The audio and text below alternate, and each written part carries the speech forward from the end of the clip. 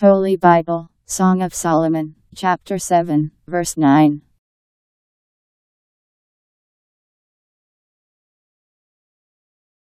And the roof of your mouth like good wine flowing down smoothly for my loved one, moving gently over my lips and my teeth.